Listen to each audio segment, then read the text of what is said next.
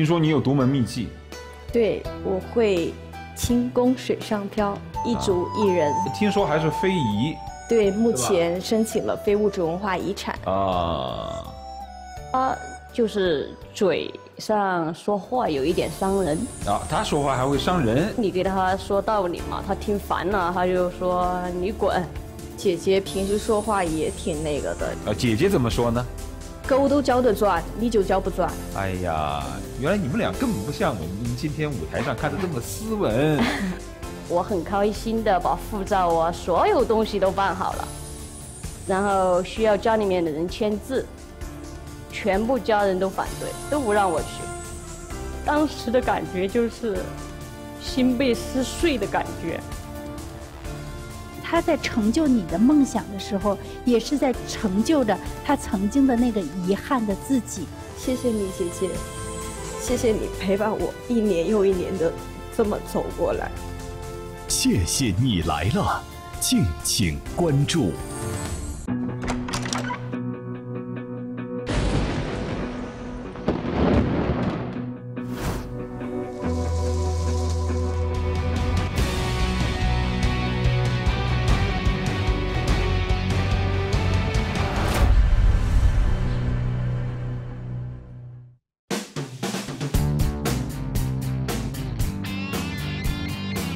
有请主持人涂磊。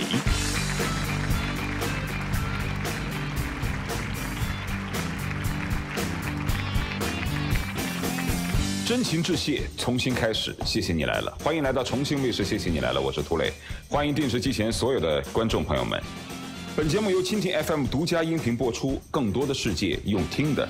今天现场依然没有观众，观众都在电视机前或者是在线上来观看我们的节目，当然也会参与到我们的讨论当中。扫描屏幕右下方的二维码，关注重庆卫视官方微信号，获取更多关于“谢谢你来了”台前幕后的故事。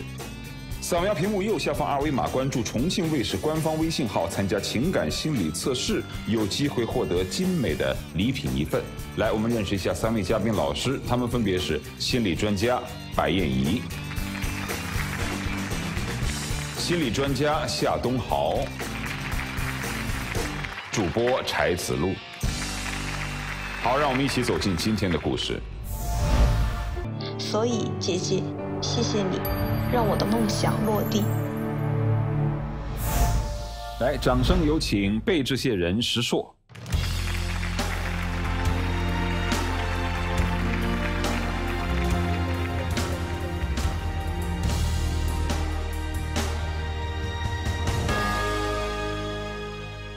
师好，三位嘉宾老师好，观众朋友大家好。哎，请坐。谢谢。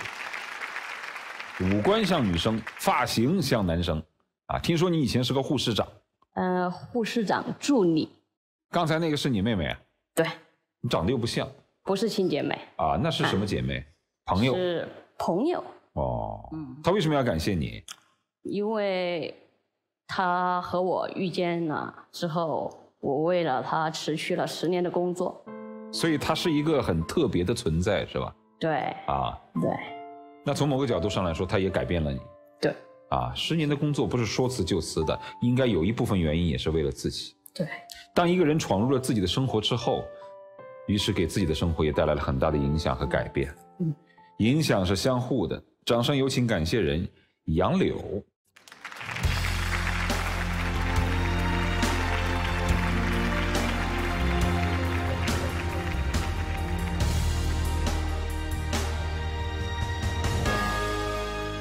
师好，三位嘉宾老师你们好，观众朋友们大家好，请坐。你有多少斤啊？七十多斤。哦。听说你有独门秘技。对，我会轻功水上漂，一竹一人。这是你的表演是吧？对，它是脚上一根竹竿，手上一根支撑的一个桨，一个竹竿。对。好美哦！你们家是干这个的？对我奶奶就是学习这个独竹漂，这种表演是源自于哪个地方？它是发源于贵州赤水河流域的独竹漂。哎，为什么要独竹漂呢？以前修建故宫的时候需要用到楠木，嗯，那个时候那个贵州赤水那边的原始森林里面就有很多的楠木，那个时候我们的老前辈们，他们就会去原始森林里面把楠木砍下来了之后，通过水运的方式是最快捷也是最省力的一种方法，嗯，然后就是通过那个涨水的时候，水流冲到。那个大江大河那个地方去，然后就方便运输嘛。就在这个过程中呢，那个楠木它会散掉，然后拾起的那个过程中就掌握了这个独木漂。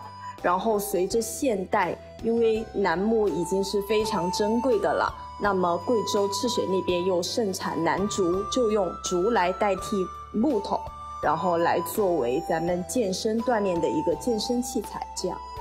呃，这个是一种表演形式，也不算是武功，难道也有这种传承的效果？对，因为最开始是赤水河流域的老师来到了咱们贵州遵义，然后刚好奶奶又是游泳爱好者，因为学习咱们的独竹漂，一定就是要先学习游泳。然后奶奶当时他们那一批老前辈就接触到了这个独竹漂，然后奶奶教了爸爸。爸爸又教到我，嗯，本身我又是从小学习的舞蹈，我是觉得只是划来划去的话，呃，就比较乏味，我就有了一些想法，再加上姐姐和家人们的鼓励，我开始尝试把我学习的民族舞、芭蕾舞把它相结合，然后呈现，就是说现在的咱们的水上演艺独主跳。那也就是说，这当成了家里的一门技艺。在传承是吧？对，听说还是非遗。对，目前申请了非物质文化遗产。啊，你从小的这个性格应该也是很开朗的吧？要不然你也不会学这个呀。嗯，开朗的时候特别开朗啊，然后自卑的时候也非常自卑。你有啥好自卑的呢？这个事情就要从奶奶那儿开始，从我的出生开始。从小呢，我家就有重男轻女这么一个概念在里面。生下来了之后呢，因为妈妈为了照顾我，她是需要到处去做生意嘛。然后妈妈为了挣钱，当时是把我送到了托儿所。中午的时候，然后才有人来接。那个时候我就经常在那个幼儿园的大门就看，我在看妈妈，妈妈什么时候来接我？因为每每次同学一到放学的时候，他们都有爷爷奶奶、有妈妈来接，为什么我在门口就等不到？只有星期六和妈妈的相处时间，星期天我又要回学校。那个时候，妈妈就给我说：“她说妈妈会努力，我会挣钱，之后我会把你天天带到身边。”但是后面因为妈妈需要去做生意嘛，又从幼儿园把我接到了身边照顾。那个时候，我妈妈在那个地下地下商场卖卖服装，就没有时间来照顾我。那个时候我又小又不懂，就一个人在那个地下通道到处走，然后好几次妈妈差点把我弄掉了，妈妈就觉得把我放在那个幼儿园又舍不得，然后就拜托奶奶和爷爷奶奶商量，就是说孩子还是拜托你们来照顾，然后就在这样的基础下，我慢慢的长大，然后跟着奶奶开始学习独竹飘。你刚才说你学舞蹈的是吧？对，学。你读的是艺校喽？对，是艺校啊，艺校的孩子都挺开朗的。呃，说到这个艺校呢，又到了我人生中第二个坎，因为我的身高不高，也经常被老师、被同学歧视。当时老师排练舞蹈的时候，都会高个子往前面站，然后我个子比较矮，就是站哪个位置好像都不太适合我。那个时候，同学们还给我起外号，叫我小杨 DJ，坐冷板凳的是吧？对，然后哎，杨柳，你去把音乐给我放一放。嗯。然后他们的道具坏了，你去修一修。嗯。其实那个时候，我会问我自己，我究竟是来干什么的？这些过去你知道吗？知道。啊，那你们俩是怎么认识的？我们俩是因为一次出去聚会嘛，我当时在参加一个公益活动。因为我们要负责相互加好友，以后要去做什么公益的时候啊，可以一一起啊，然后就加上了对方的 QQ。谁先注意的谁？我先注意姐姐，因为我当时觉得很奇怪，因为那样的环境下大家都是来玩儿，他们就一直在讲关爱女性，要帮助更多人，怎么怎么的，就聊到这个话题上，我就觉得很不一样。因为那个时候接触的朋友的话，也就是大家该玩玩，就不会去聊这方面的问题。然后包括我自己，因为我是觉得我自己就是这么走过来。如果以后我有机会，我也会去做，关心别人，多给人家一些爱。我我也想这么来做。那个时候就和觉得和姐姐特别能聊得来，就是这样开始的。就这样成为了朋友。对。啊，那还只是普通朋友。对。后来是怎样到了能为她改变自己的职场道路这种程度？就是比亲姐妹还亲姐妹。呃，然后我们就通过在网络上聊天，也是就你问我，我问问你。然后那个时候刚好就有一场演出，有一场舞台上面的演出，然后我就邀请姐姐，我说你感不感兴趣来看我演出？去了吗？去了。好看吗？嗯，其实当时很多人都在演，还不知道是哪个是他。然后还有一点就觉得，怎么这么奇怪呀？别人都是带着爸爸妈妈来看，他却叫我来看。然后老师叫签字的时候，他说我是他姐姐，然后帮他签字，就觉得很奇怪嘛。等他表演完之后，我们才就继续，我就开始更关注于他聊。和他聊了更多他家里的一些情况之后，就更了解他了，更想帮助他。虽然我们也是单亲家庭，但我爷爷奶奶，然后姊妹也多，比较开心嘛，就没这么多，就不像他这样孤独一个人。也就是说，那次表演之后的彼此聊天、互相了解，让你们走得更近了一步。对。啊，从最开始朋友之间的吸引，变成了家人之间的那种温暖。对。我记得印象中有一次和妈妈发生了争执，然后就离开家，我就出去了。那个时候我就不知道我该去哪儿，就觉得需要诉说一下吧。那时候我就想到了姐姐，我就说：“姐姐，你有没有空？我能不能和你聊聊天儿？”我说我心情感觉特别低落嘛。姐姐当时就说：“她说我刚下班，要不然你来我家吧，我我这边刚好也做了饭，你来咱们慢慢吃，慢慢聊。”然后就在那一次和姐姐聊天之后，我就给姐姐说：“我说我觉得我特别孤单，我有时候在家里面关了灯，我特别害怕。我说我害怕打雷，我害怕一个人，我害怕就像小的时候睡着了之后妈妈不在我旁边。我说可以的话，姐姐，我说我能不能搬来你这儿住？我觉得你比妈妈好，你可以安慰我，你可以给我说很多东西。”然后那个时候，姐姐也答应了，这就是我们开始发生后续的事情。住到他家去了。对，住在他家。你们家你一个人住？嗯，是很多人住。啊。爷爷奶奶，还有爸爸经常在外面工作，看不见他的，就爷爷奶奶，然后弟弟妹妹。哦，那他进来住方便吗？嗯，没有不方便的呀。家人没意见。多一个，呃，当时其实我就以为他就。嗯，来待个两天吧。结果呢？结果也很长很长。也也也就是说，你最开始是觉得客气一些，哎，没知道他没把自己当外人啊。对。他住下来了。对。你咋想的呀？因为我在姐姐家，我觉得很温暖，奶奶的问候，妈妈的关心，有这个样子的，我觉得在我家都是不曾让我感受到。我觉得在他家很开心。嗯。那后来怎么着？后来有些不方便了吗？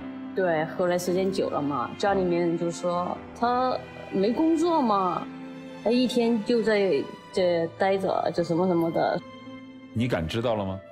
我感知到，那个时候我其实也跟姐姐说过，我说，要不我还是回去吧，呃，但姐姐这样给我说，她说你既然来了，既来之，则安之。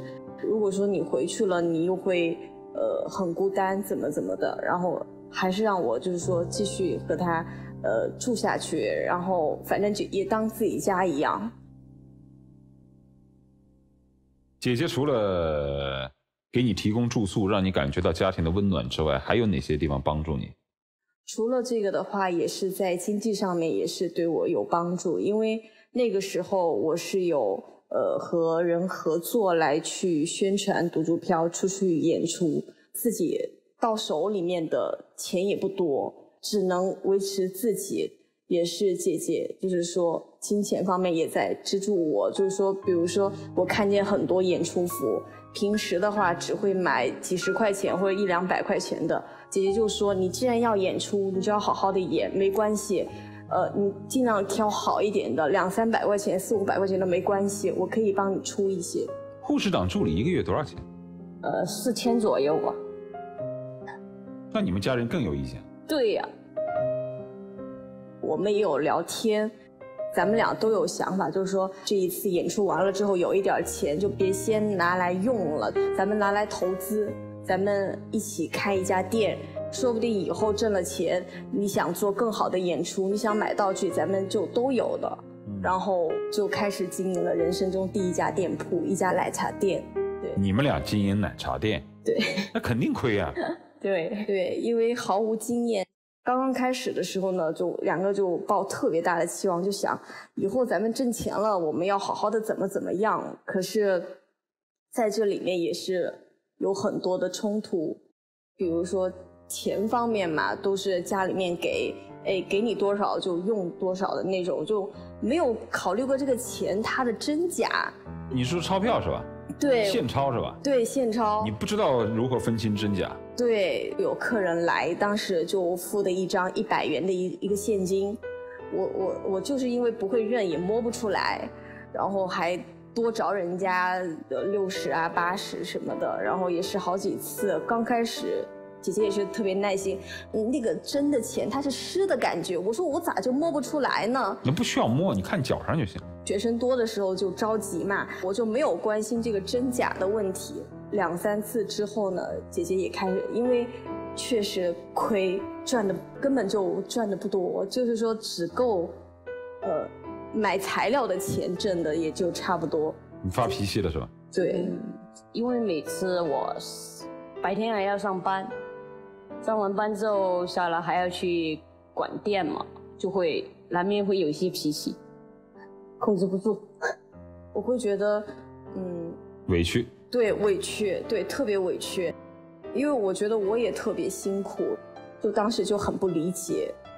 然后后面咱们也是因为经营不善嘛，确实不会做生意。说实话，姐姐也跟我聊到她工作上面的很多不开心。之后我们决定，呃，没有再经营咱们的那家奶茶店，开始尝试做我的这一块儿。对，你跟他发脾气，我觉得这种脾气不是简简单单的是说他工作能力不强，你是不是觉得这个女女孩应该情商挺低的？嗯，其实她就是嘴上说话有一点伤人，啊，她说话还会伤人，比如你给她说道理嘛，她听烦了，她就说你滚。从你的经历看来，你不应该会有这种脾气啊！因为姐姐平时说话也挺那个的，因为我啊，姐姐怎么说呢？狗都教得转，你就教不转。哎呀，原来你们俩根本不像我们今天舞台上看的这么斯文。除了滚，他还说啥？他说，嗯，不需要你帮我，很伤人的话。很伤人哈、对那你走了没有？有些时候会冲动的走，啊，但回想一下，不能放弃，你为什么不能放弃？因为你帮他，你不能说他没有给你回报，你就不帮了，或者是怎么的，你一定要坚持下去。他放弃，你也不能放弃。为什么为为为什么要这么坚持？从小家庭原因吧，嗯嗯、从小的时候呢，我八岁的时候爸爸妈妈离婚，啊。离了婚之后就爷爷奶奶带嘛，因为爷爷奶奶年纪其实也挺大的，嗯、还要带我们三个孩子，就只有我顶下来了，嗯、我八岁，我弟弟妹妹肯定更小，然后奶奶也是短头发，也不会打理头发嘛，就给我也剃短头发，给我妹妹也剃短头发，我弟弟也是短头发。然后衣服呢，就选择比较中性一点的，因为我穿完之后，嗯、穿不了了，我妹妹可以穿，妹妹穿了，弟弟也可以穿。嗯，那时候家庭条件也不好，所以说就就是这样的一个养育方式吧，嗯这样简单一点啊也好带。可是会给我带来非常的不便呢、比如说学校同学会说我呀，然后上厕所也非常的被人误会，这是女厕所。我说我是女生，嗯，这些事情也不可能给家里面说，不想给爷爷奶奶带更大的负担，想自己一个人扛下来嘛，其实也没什么。你是不是在生活当中曾经有放弃过的东西，有或者是说被迫放弃的东西？被迫放弃的什么事儿一段感情嘛。啊，嗯，当时我还不成熟嘛，耍了一个男朋友，然后一年了，但是呢，他要去国外发展嘛，他爸爸在那边，他就说要不要跟我一起过去，然后我们就可以在一起嘛。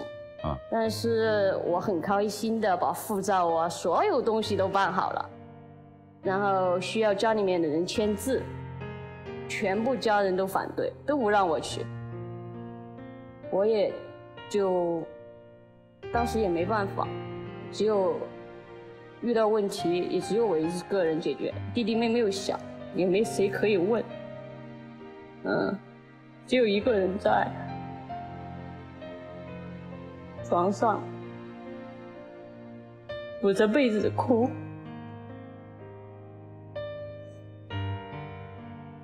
其实当时的感觉就是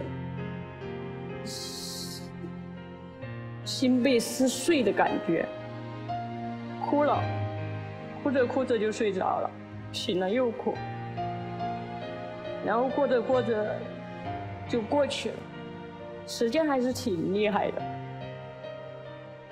这段感情就结束了。那是你唯一的一次情感吗？你就没再谈过了？嗯，对，无论是这段情感，还是你的生长，嗯，给你形成了一种执念。我一定做了一件事情，就要有头有尾。对我决定做了，我一定不能放弃，不管遇到什么困难。姐姐的这种所谓的执念和这种生长历程，在跟你的相处过程当中，除了有开奶茶店的那段不愉快之外，在你的表演的过程当中，给你有一些什么帮助和影响？其实，其实说到这个的话，就要从一八年开始说，因为他觉得我的工作独竹飘，一是很自由，二就是他看见我在独竹飘展现舞蹈的那一那一刻，嗯。他说那个就是我的舞台，啊，所以说那个时候姐姐就给我说，她说我想我想辞掉现在的工作，我们一起把咱们我的这个能给我的一个点，能给我发光的一个点，来把它做得更好。对不是你啥意思呢？你辞掉了工作之后，你是要做他经纪人是吧？当时是这样想的，因为当时嘛，想到，嗯、我干这个，反正护士是家里面安排，嗯，也不谈不上不喜欢，只是说不适合我。但我家里面人就会说，那你不干这个，你干嘛呀？其实那时候我也不知道，确实我不干这我干嘛呀？当时没有目标的，很迷茫的。自从遇到了他之后，我知道我不干这个我该干嘛了，因为我从他身上看见了他的未来，啊，我需要怎么去帮助他？你要成为他幕后的制作者，对，你跟他是这么商量的吗？嗯，是这样想的。那你当他说他要辞掉十年工作的时候，你是兴奋还是害怕啊？你这这很有可能很有可能影响别人的职场我。害怕，我很害怕，因为我担心，就是说，如果我们发展的不好，嗯那我已经这个样子了，那姐姐该怎么办？啊我会更往远一点想。我当时其实有让姐姐说不要辞职啊这样，但是姐姐说，也不只是因为我，她说，他也想尝试。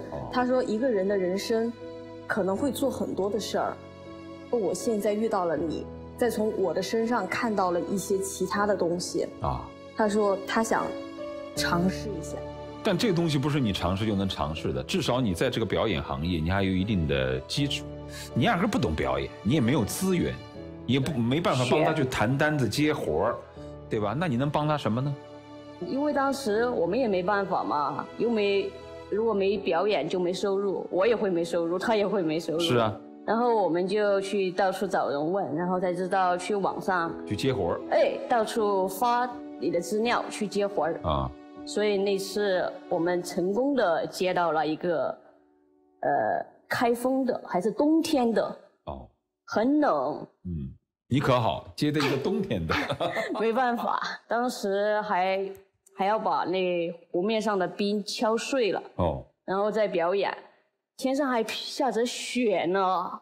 还要穿的这么少，对，他还他还是光脚丫呢。哦就是后来我们想尽了办法给他弄塑料口袋呀、各种。包一下脚。嗯，我们想的是，我们把这个行业，嗯，就这个项目嘛，做好，做好了之后，我们就可以帮助更多需要像我们这样需要帮助的艺人。贫困，哎，艺艺人也有，嗯有梦想的人也有，还有那些贫困的孩子，其实给他们这个平台，他们也有一份孩子来学一个技艺，也有一份收入以后，就是这样的，我们一起的目标。情怀有情怀啊，啊，还会做发型是吧？嗯，对，还要做发型，哦。因为古装嘛，啊，要去学很多的古装发型。还有就是平时因为呃身高不太高，那些汉服呀，很多服装是根本就穿不了，嗯，都是要靠后期姐姐帮我手工先缝制了，然后才能穿，嗯，就这样。哦，还帮你准备服装，对，还有自己做一些道具，因为就是因为在水上这个比较特殊的一个舞台，很多道具呀、也需要自己来做。你今天来是觉得要珍惜这个合伙人，对，因为在我有一次就是说为了做做好一次节目的时候，就一一一个呃作品的时候，那一次就是人生中受伤受的最严重的一次，因为为了练好水上芭蕾，那个时候就要求自己一定要在竹尖上把芭蕾立起来，要这么来练习，来把它跳出来。就在那个期间练习的时候，就是因为一个动作的不小心，从那个竹子上滑下来。那个竹子看似简单，可能大家都会想到滑下来就掉水里呗，但不是。如果你掉得好，恰恰掉水里面，那 OK 没问题。但是我当时滑下来是掉竹竿上了，就在腿的这一块儿，呃，对，这这一块儿，这个皮皮就蹭下来了。当时蹭下来之后又掉在水里面，因为疼就抱不住竹竿，就在水里面就赶紧游上来了。之后人家就说：“哎，站起来看一下能不能走两步。”那个时候我才发现我走不动了。我们现在还需要把这个作品做好了，我走不动了怎么办？因为那个时候训练的地方特别远，离我们住的地方。我就记得那个时候姐姐就背着我走，走了半个多小时才能坐上车。然后到了家之后，那段时间也是一直都是姐姐在照顾我。直到我的伤养好了之后，我就开始害怕了。我说我不敢做这个动作了，我说我没有勇气了，我说我们不要做这个，可不可以？姐姐说，做人一定要坚持。你可以什么都不好，但是你如果连坚持你都做不下来，你之后还能做什么？就算咱们做其他的，你都得坚持啊。我就开始咬牙，尝试，之后真的是完成了那个动作，在水上一根竹子上把我的水上芭蕾立起来。今天来感谢姐姐，除了刚才所说的所有的这些过往的累积之外，是最近还发生了什么事儿吗？其实就是合伙人。刚来的时候就说，因为杨柳之前也做了有一个抖音号嘛，他说我们我在帮杨柳做一个抖音号。我说你为什么想帮他？他说因为杨柳的一些经历，让他觉得我想帮杨柳。他就是这么说的这么伟大。啊，说的这么伟大，就说明问题。当时还说没关系，以后做起来了你就把号儿拿过去，把我踢了都可以。这不可能呢。但我们是这样说的，我说不可能的，如果有收益了，我们绝对会分你多少，而且分多少你来说，我们还这样说的。然后做着做着，杨柳觉得各种就是拍摄的一些东西不满他的意嘛，因为当时我们是冬天开始做的，每次杨柳拍完都会感冒发烧去输液，其实也没多少作品，就二十几个作品嘛。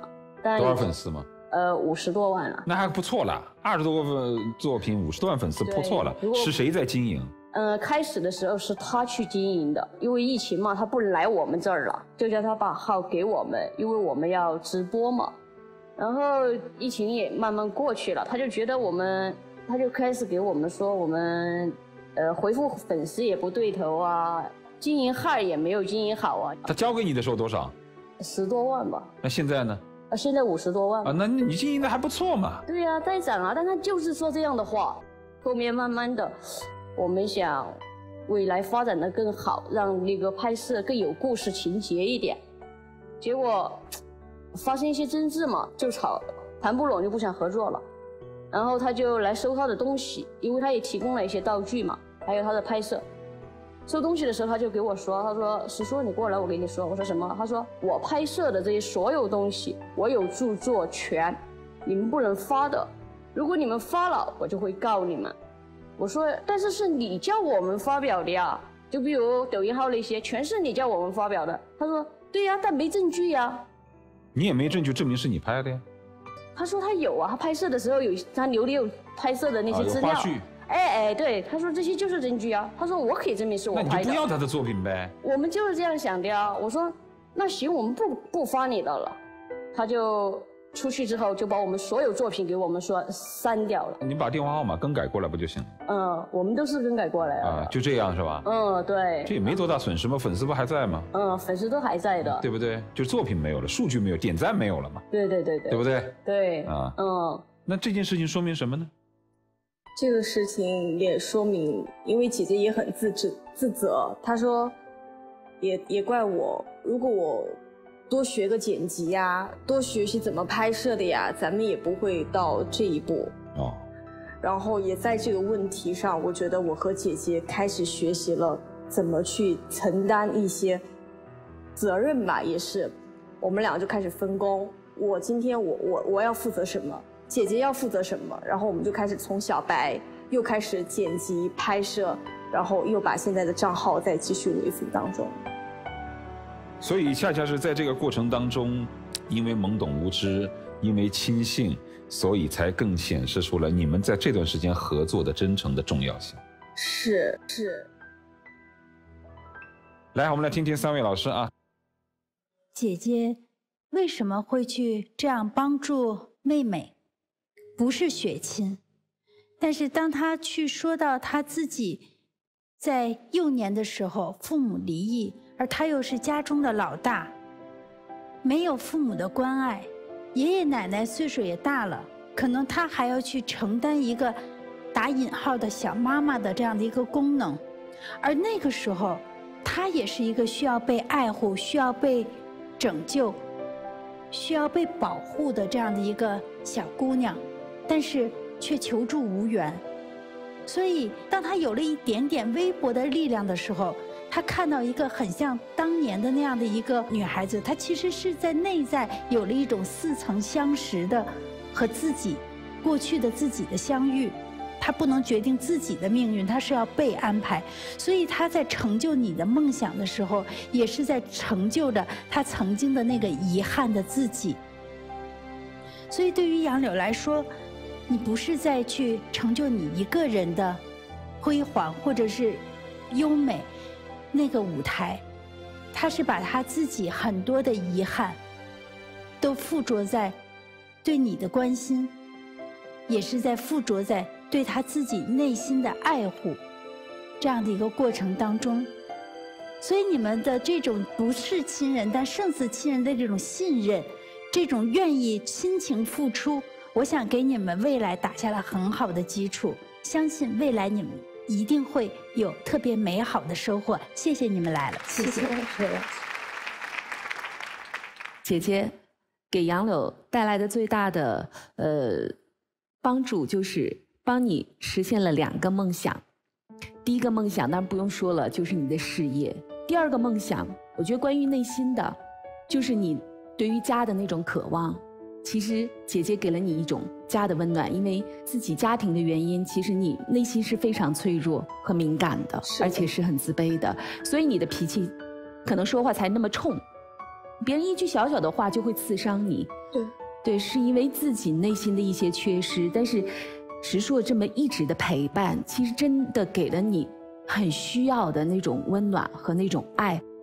所以，当你有了这样的感觉的时候，内心就会很踏实，踏踏实实的去实现我的梦想。是的，他很像天使，但是他不是天使。为什么不是天使？因为其实他在你身上也得到了很多的东西。因为你对梦想的那种执着，那种敢于突破的那种那种劲儿吧，是石硕之前是没有的，是羡慕的。因为一直按照家庭的安排，去一步一步的走，虽然很安全，但是内心那股冲劲儿一直没有突破口。对。但是他当看到你的时候，他就觉得，哎，这是一个突破口，我要跟你一起，你身上也有你的力量。我希望这样的内心的这种勇气、勇敢，会永远。在你们心里，无论之后这个独竹飘会做到什么样的程度，同时也希望你们这份友谊、这份真情能够一直留在你们之间。谢谢老师。希望你们越来越好，加油！谢谢你们来了。其实你们未来还是有很多的挑战啊！你不要小看这些挑战，就是真正的强大是你不要去讨好别人。你要觉得自己是有理的，啊，以后分成怎么办？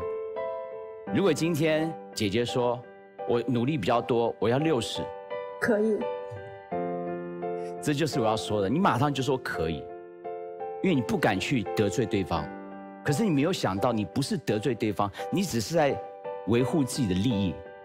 哪一天如果你真的很红了，哎，你觉得说，我想多分点，我想分六十，你连提都不会提的。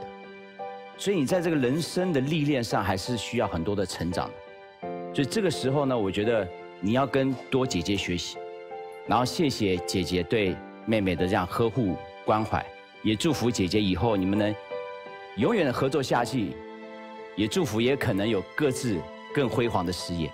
好，祝福你们，谢谢你们来。谢谢老师。这故事就是你的梦想点燃了他的梦想。他的温暖，把你的内心更温暖了。接下来有什么话跟你姐姐说？谢谢你来了。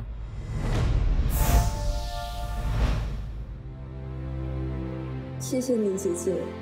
谢谢你陪伴我一年又一年的这么走过来，在我觉得我最难最难的时候，不被父母理解的时候，也都是你在陪着我。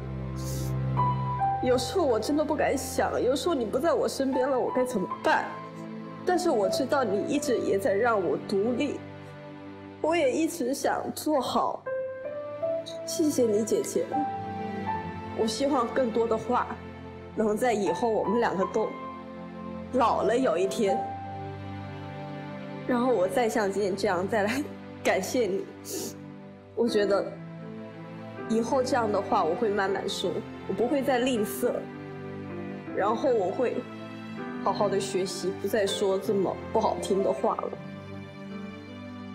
谢谢你陪伴我，加油，你是最棒的，别怕，有姐在。来看看他送给姐姐的礼物是什么。